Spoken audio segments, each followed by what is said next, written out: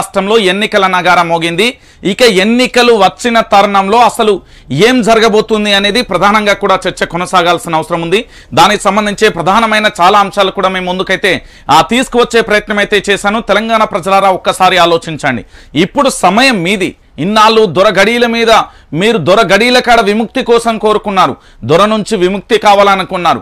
ఇప్పుడు సమయం ఆసన్నమైంది. ఇప్పుడు చేయాల్సిన పని మీ చేతిలో ఉంది అంటూ తెలంగాణ సమాజాన్ని కూడా హెచ్చరించే ప్రయత్నం చేస్తున్నాను.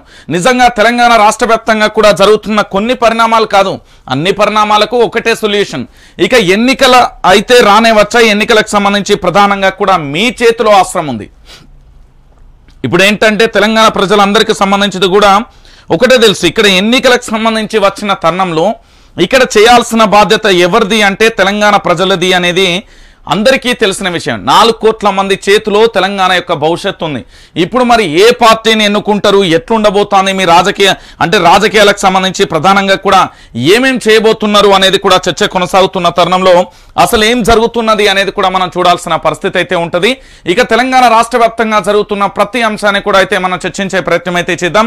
నిజంగా నిన్నటి ఎన్నికల నగారా షెడ్యూల్కు సంబంధించి బీఆర్ఎస్ పార్టీ ఎక్కడా కూడా ఎక్స్పెక్ట్ చేయలేదు. అంటే ఎన్నికల షెడ్యూల్ వస్తుంది అని వాళ్ళు ఎక్కడా కూడా వాళ్ళకు ముందస్తు సమాచారం కానీ లేకపోతే ఊహించని పరిస్థితి అయిపోయింది. దాంతో డీలా పడ్డ పరిస్థితి కూడా కనబడింది. మొత్తానికి బీఆర్ఎస్కి అయితే భారీ షాక్ అయితే వచ్చింది అని చెప్పడంలో ఎలాంటి డౌటు లేదు. ఇక మొత్తానికి నిన్న ఎన్నికల నగారా మోగిన తర్వాత మన దగ్గరికి కొన్ని అంశాలు వచ్చినాయి. అంశాలకు సంబంధించి కూడా మీ అందరికీ చెప్పే ప్రయత్నం అయితే చేస్తా. ఏం జరుగుతుంది ఎట్లుంటో ఎట్లుండబోతుంది అనే అంశానికి సంబంధించి కూడా ఒకసారి అయితే మనం చూద్దాం. రైట్ ఏంటి తెలంగాణ రాష్ట్ర వ్యాప్తంగా ఎన్నికల కూడా వచ్చింది? ఇప్పుడు తెలంగాణలో ఏం జరగాలి? ఇది ఇప్పుడు మనం చర్చించాల్సింది తెలంగాణలో ఏం జరగాలి? తెలంగాణ రాష్ట్రం దేనికోసం ఏర్పడింది?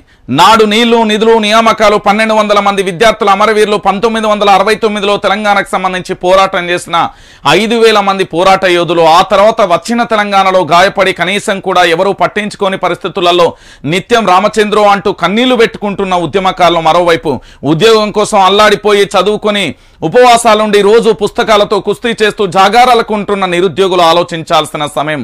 ఇక పెట్టుబడి ఇస్తున్నారు అనే ఒకే ఒక్క మాటతోని రైతాంగానికి కౌలు రైతులు ఏ విధంగా ఆత్మహత్యలు చేసుకున్నారు? దానితో పాటు సబ్బండ వర్గాలకు సంబంధించి ఎలాంటి అన్యాయం జరిగింది అనే విషయాన్ని ఆలోచించాల్సిన పరిస్థితి ఇప్పుడు తెలంగాణ ప్రజలది. రైట్ వాస్తవం.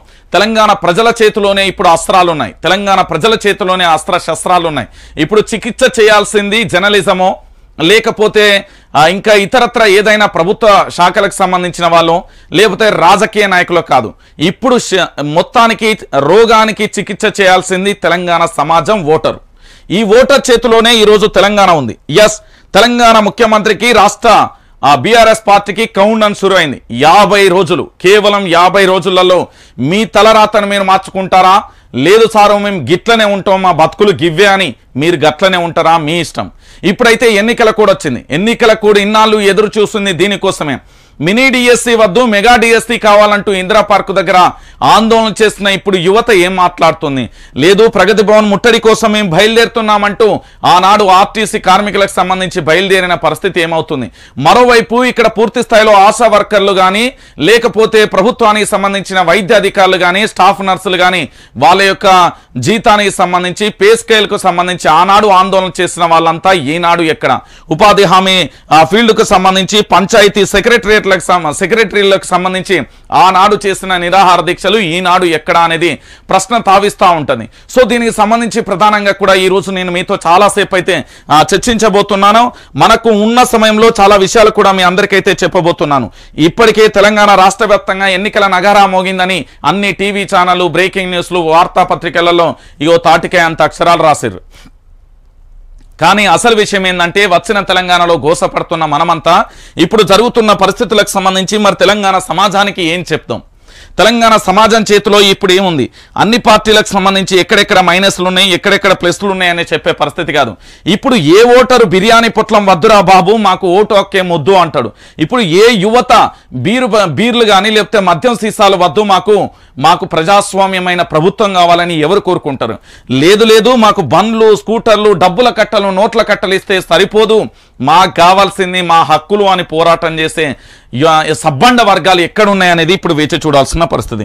రైట్ నేను చెప్పే విషయం ఇప్పుడు అక్షరాల సత్యం. తెలంగాణలో జరగబోతున్న ఈ అంశానికి సంబంధించి మీ అందరికైతే చెప్పబోతున్నాను. ఎందుకంటే పూర్తి స్థాయిలో తెలంగాణ రాష్ట్ర వ్యాప్తంగా కూడా అసలు ఏం జరుగుతుంది అనేది తెలంగాణ ప్రజలందరికీ కూడా అర్థం కావాల్సిన విషయం. సమయం కూడా ఆసనమైంది సో ఇప్పుడు ఏంటంటే మిత్రులరా మీకు చాలా విషయాలు ఈరోజు మనం చర్చించుకోవాలి. మొత్తానికి రెండు వేల పద్నాలుగు నుండి రెండు వేల ఇరవై మూడు వరకు జరిగిన ఒక మహోన్నతమైన బానిస బతుకుల నుండి విముక్తి కోరుకుంటారా?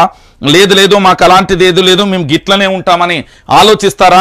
లేదు మా దగ్గర అస్త్రాలు ఉన్నాయి అస్త్రాలను బయటికి తీస్తే విపక్షాలు మాడి అయిపోతాయి. ప్రజలందరూ మా వైపే వస్తారు మేము నమ్ముకున్న మా దైవం ఆరాధ్య గురువు కల్వకుండ్ల చంద్రశేఖరరావు బయటికి వస్తే సింహం బయటికి వస్తే పూర్తి స్థాయిలో ఆ సింహం వేట మొదలు పెడుతుంది. వేట మొదలు పెట్టి మొత్తం అస్త్రాలన్నింటిని కూడా బయటికి తీస్తుంది. అప్పుడు ఏ విపక్ష నాయకుడు కూడా ఎవరు ఏమీ చేయలేరని ఒక ఏంది ధైర్యంతో ఉన్న వాళ్ళకు ఏం చెప్తారు అనేది ఇప్పుడు మనం వేచి చూడాలి.